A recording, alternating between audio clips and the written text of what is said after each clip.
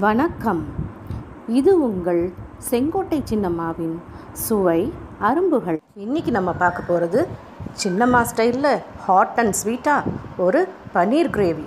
வாங்க அதுக்கு தேவையான பொருட்கள் என்னென்னன்னு பார்க்கலாம். நாட்டு சர்க்கரை ஐம்பது கிராம். மிளகு ஒரு டீஸ்பூன். பன்னீர் நூறு கிராம்.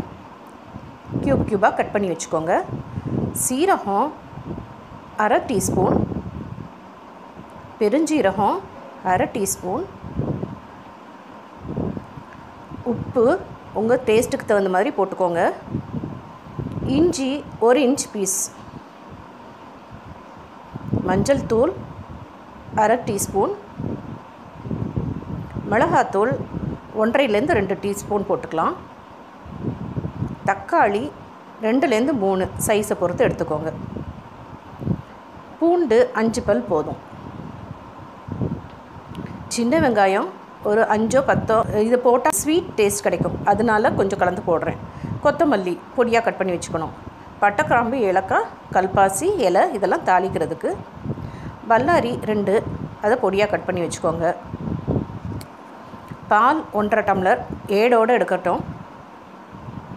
இப்போ வானலியில் எண்ணெய் வச்சுட்டு எண்ணெய் நல்லா காஞ்சதுக்கப்புறம் முதல்ல பெப்பர் போடுறோம். அடுத்தது சோம்பு அடுத்தது சீரகம். இது மூணையும் வறுத்து தனியாக எடுத்து வச்சுட்டு அடுத்தது அதே வானலியில் கொஞ்சம் எண்ணெய் ஊற்றிக்கிறோம்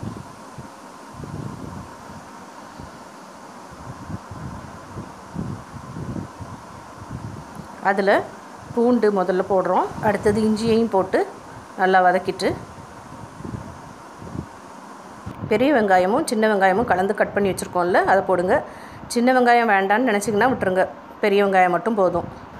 சின்ன வெங்காயம் போடுறது ஒரு இனிப்பு டேஸ்ட் கொடுக்கும். அது நல்லாயிருக்கும் இயற்கையான ஒரு இனிப்பு டேஸ்ட் இருக்கும். அதுக்காக தான் அது போடுறோம்.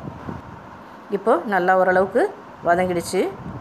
அடுத்ததாக நம்ம தக்காளி போட வேண்டியது தான் கட் பண்ணி வச்சுருக்க தக்காளியை ரெடியாக எடுத்து வச்சுக்கோங்க. தக்காளி போட்டிருக்கோம். அடுத்தது பொடியாக கட் பண்ணி வச்சுருக்கிற கொத்தமல்லி போடுறோம். இதிலே மசாலாலே போட்டு வதக்கி அரைச்சிட்டோன்னாக்க வாயில் கடிப்படாது ஒதுக்கி வைக்க வேண்டாம். டேஸ்ட்டும் ரொம்ப நல்லாயிருக்கும் வாசனையும் ரொம்ப நல்லாயிருக்கும். எல்லாத்தையும் நல்லா ஒரு பத்து நிமிஷம் நல்லா வதக்கணுங்க. சுருள சுருள வர வதக்கணும். பார்த்திங்களா நல்லா சுருண்டு வதங்கி வந்துருச்சு. இப்போ அதில் மிளகாத்தூள் உங்கள் டேஸ்ட்டுக்கு தகுந்த மாதிரி போட்டுக்கோங்க. நான் ஒன்றரை டீஸ்பூன் போட்டிருக்கேன். உங்களுக்கு தகுந்த மாதிரி நீங்கள் போட்டுக்கோங்க. ஏன்னா பெப்பரும் போடுறோம் இல்லையா? அதனால் பார்த்து போட்டுக்கோங்க.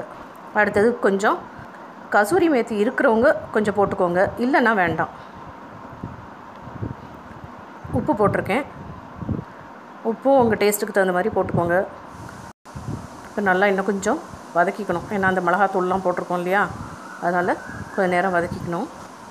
வதக்கிட்டு இதை அப்போ நம்ம ஏற்கனவே வறுத்து வச்சுருக்கிற மிளகு சீரகம் சோம்பு அப்புறம் இந்த மசாலா எல்லாத்தையும் ஒன்றா மிக்சியில் போட்டுக்கணும்.